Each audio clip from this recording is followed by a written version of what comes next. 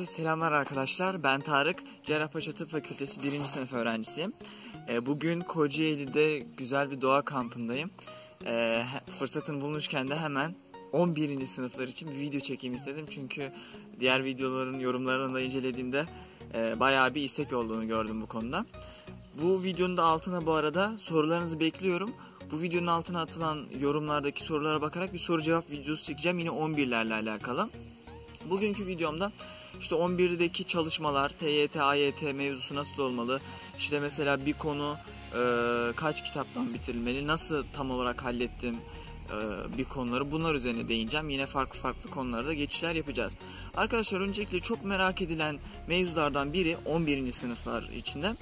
İşte acaba TYT başlasam mı, e, başlarsam nasıl yürütsem gibi e, buralar gerçekten çok merak ediliyor. Bununla ilgili ben şunları söyleyeyim. Ben 11. sınıfta TYT'ye başlamamıştım. Ama neden? E, 9-10'da e, çünkü belli bir temel attığıma inanıyordum. Yani e, geri dönüp vakit kaybetmek istemiyordum. 11 adam akıllı halledeyim diyordum. Çünkü AYT içinde büyük önem arz ediyor 11. Yani 12'ye geçtiğinizdeki o işte limit türev integral gibi matematik için konuşuyorum mesela büyük önemli konular 11'deki sizin böyle nasıl iyi temel atıp atmadığınıza bağlı. Çünkü mesela 11'de trigonometri görüyorsunuz.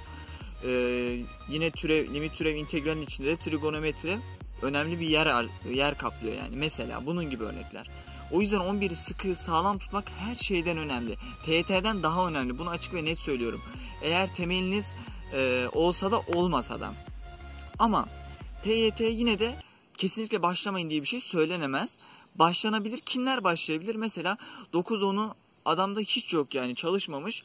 Onun diğer arkadaş ve de hedefi mesela e, bir yüksek bir yerler istiyor. Onun diğer arkadaşların bir şekilde yetişmesi, yakalayabilmesi lazım. Hatta onları geçmesi lazım. Mesela ne yapabilir? Daha çok çalışarak, 11'den kısmayarak ama. 11. sınıftan fedakarlık etmeyerek ekstra çalışmayla TYT'ye başlayabilir. Onda da paldır küldür her dersiyle beraber başlamayacak. Kendine iki ders seçecek. Atıyorum e, matematik ve zayıf olduğu bir dersi ne olur? Mesela fizik. Çok zayıf. Matematik ve fiziği seçti. Ondan başlayacak. E, sınava kadar işte yaklaşık iki buçuk üç ay var. E, ben bu videoyu ne zaman atarım tam bilmiyorum. E, o zamana kadar TYT'yi böyle seçtiği bir veya iki dersten götürebilir. Ama 11'den kısmayarak. Önceliğimiz 11. Bunu yineliyorum.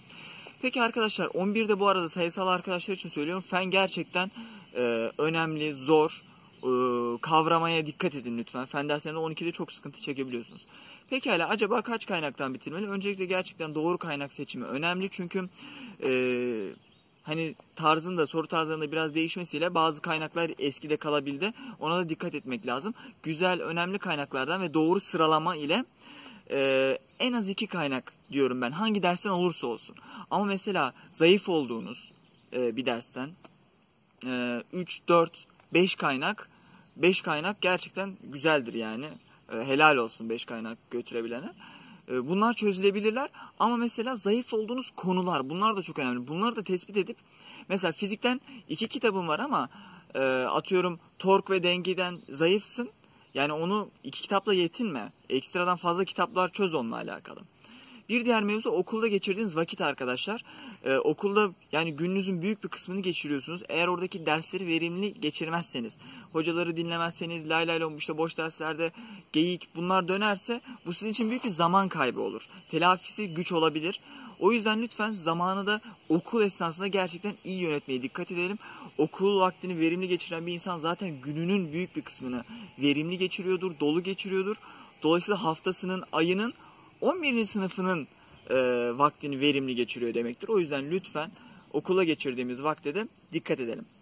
Planlamalar yapın ve seviyenizi belirleyin yavaş yavaş. Yani ne gibi? Mesela haftanızı planlayın, gününüzü planlayın. Ee, bir derste günde 8 dersiniz var diyelim ki. Bir bakın acaba bunlardan kaçını boş geçiriyorsunuz? Kaçında gerçekten bir şeyler öğreniyorsunuz? Onları yükseltmeye çalışın. Bir ölçün bakalım yani bir hafta boyunca kaç soru çözmüşsünüz? Sonraki hafta onun üstüne çıkmaya çalışın. Yani kendi sınırlarınızı genişletmeye, limitinizi aşmaya çalışın. Yavaş bu, bu bunu yapmanız için e, bunu yapmanız için ilk adım nedir? Yani limitinizi belirlersiniz. Bir hafta ölçümler yaparsınız, analizler yaparsınız. Sonraki hafta yavaş yavaş işte e, potansiyelinizi bilip onu aşmaya, onu genişletmeye çalışırsınız.